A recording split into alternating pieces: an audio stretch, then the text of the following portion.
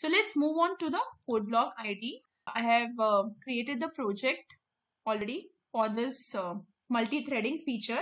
The comments I have written so that whenever you refer this code, you can simply go through all these comments and you can understand what is the importance of these instructions. So this is a good practice. So I'm here mentioned to create the threads by three different ways by passing function pointer, by passing the function object and by using lambda, lambda function. So all these things I have covered in the single program itself. Let's see.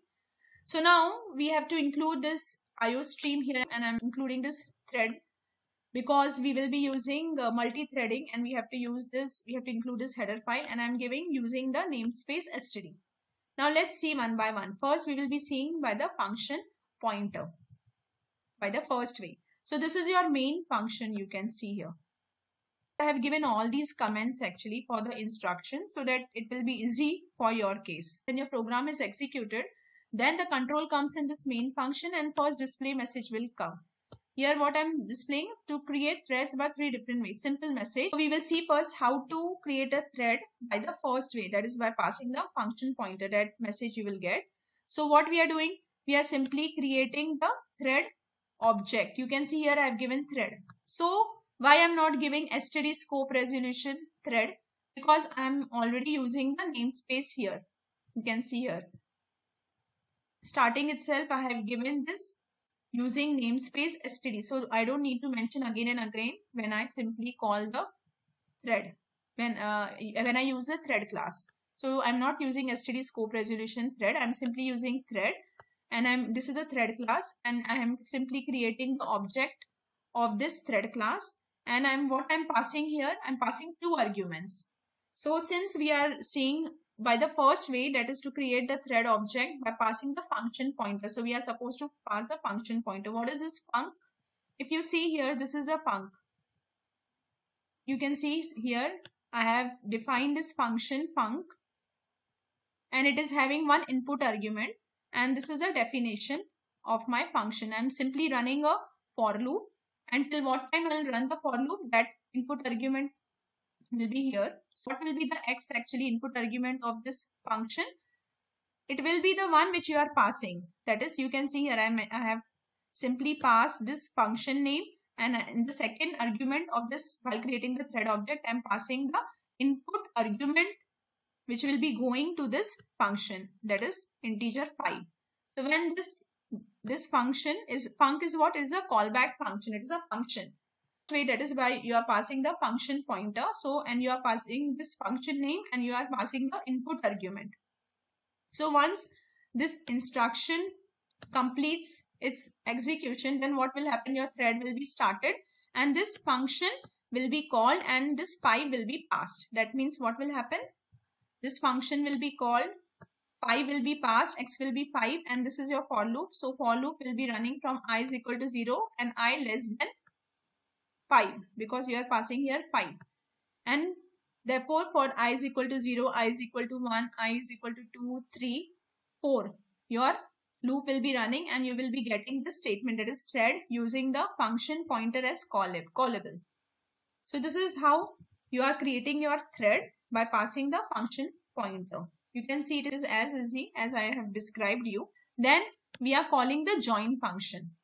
So uh, I have created this thread object and we have to ensure we always call the join function so that this main thread which is there, it will wait for this new thread to complete its execution. It will wait the new thread what it is doing. It is simply running a for loop. So till the new thread completes this its execution, this main thread will not run any other instructions which are there in the main function. It will simply wait here itself, wait at this point. So that is a thing which you have to take care. You have to always call the join function for the new thread if you don't want that your main function exits before the new thread completes its execution and app, uh, haphazard hazard results come. So therefore, in order to avoid all those things, you have to call the join function on the new thread.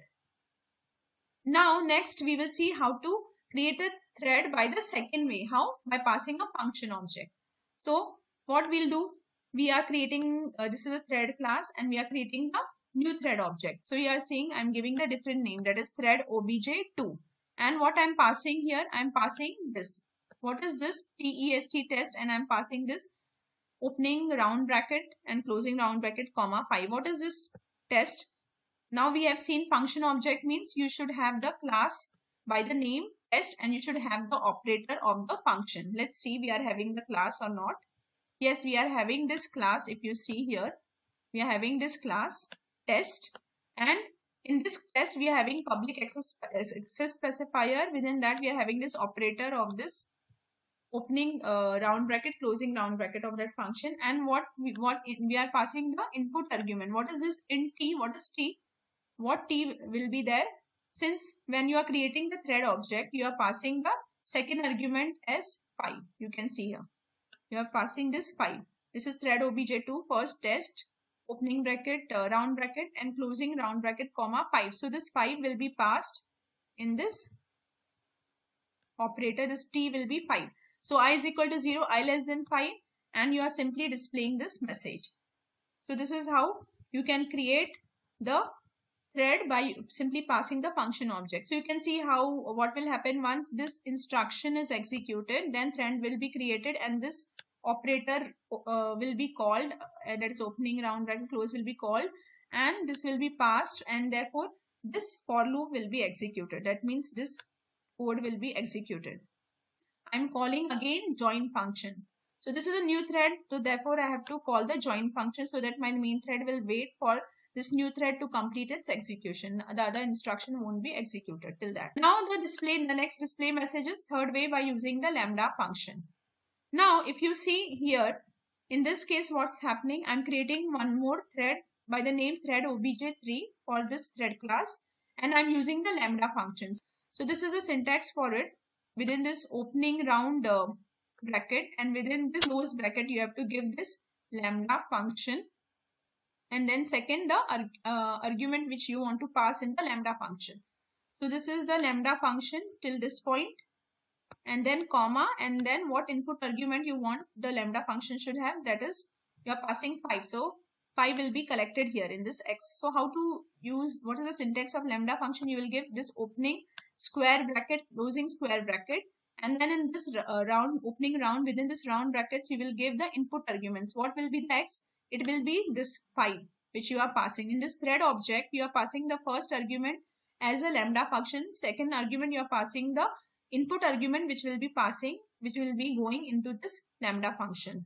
So x will be 5 and what will be the definition of this lambda function is if you see here. It means you are uh, running a loop and in that loop you are running five times the display message that is thread using the lambda function so once this uh, thread object is created once this all execution is done then your thread will be created and then this for loop will be running five times. You will get this message. And then for this new thread again you will call the join because you want your main thread to wait for this new thread to complete its execution. And then finally you will return 0 now i hope so you understood uh, how we are creating threads by all these three different ways so let us simply run the code. How to run? You have to give here build and then compile. So you can see here the, these are the build logs. You are getting zero error zero warnings. How to set the build log? View actually there will be the logs. You have to ensure this is checked so that you can get the build logs. You can see no errors no warnings. So it's good enough to run your code. So build and run so when you build and run what messages you are getting i'm getting to create the threads by three different ways and first way by passing the function pointer to the thread object as below so whatever message I have given, uh, it is coming in sequence. That is, I'm giving display message this by three different ways that came then. But the first way, that is passing the function pointer. So this is the first way. And then we are calling immediately the join function. So it will wait till this point here itself. It will not execute the other code. Therefore, what is this thread object one? This function pointer. So this function will be called you can see here and what is what we are doing in this function for loop we are running five times we are displaying thread using the function pointer as callable. So if you just tally here, thread using function pointer as callable, thread using function pointer as callable, this is five times you are getting this display message. Then after uh, five times it executes, the control comes back. This thread has completed its execution. Now uh, this main thread was waiting for it. Therefore, it will proceed further. It will resume. Another second way by passing the function object to the thread that will come. So you can see here second way by passing the function object to the thread object as below that had come. Now in the next what we are doing creating the object and we are passing the function object. What is this test? And then we are calling the join. So therefore this test actually this will be coming five times this message thread using the function object as callable. You can see here after second way by using by passing function, you are getting five times thread using the function object as callable. So this is what we want actually. Then after it, the second thread completes its execution and then the this third way by using lambda function, this message should come and then we are creating the thread in this manner. So this should run five times. That is thread using the lambda function. So third way and then thread using lambda function should come five times. We are calling join on that. So it will wait, main thread will wait till this third new thread completes its execution. It will not exit. So therefore you will get all the messages printed. Now let us see here. Third way by using lambda function and five times you got thread using the lambda function. And then finally after it, it, it has completed, the new thread has completed its execution. Then we are resuming back that what we are doing in the main thread, we are returning zero. So this is how this execution happens so I hope so you understood and uh, coming back to the presentation, we have seen program for all of these three ways how to create the thread in case of the C++ 11, using three different ways. So we will see more in the ahead lectures of the multi-threading in C++ 11. Thank you friends. Thanks a lot.